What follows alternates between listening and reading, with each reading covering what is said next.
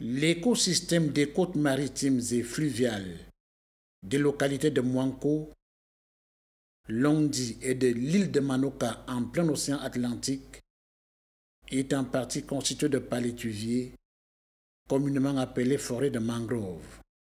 Du fait de l'urbanisation conséquente du développement et de la poussée démographique, cet écosystème fragile sous la menace perd progressivement du terrain.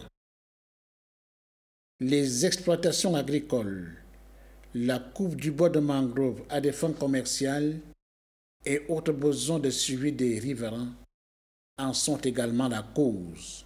Si nous n'utilisons pas la mangrove, nous ne pouvons pas fumer le poisson. Mais il faut diminuer. Il ne faut pas couper excessivement.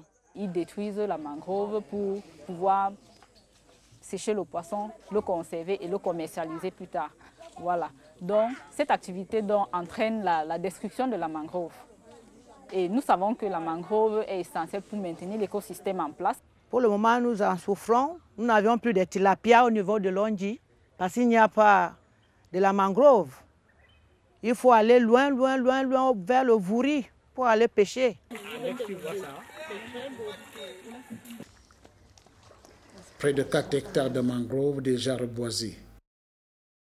Je suis tellement fière de voir que tous les efforts que nous avons fournis ont réussi. Même si aujourd'hui le poisson a fui parce que nous étions dans l'ignorance, nous avons coupé tout ce qu'il y avait avant.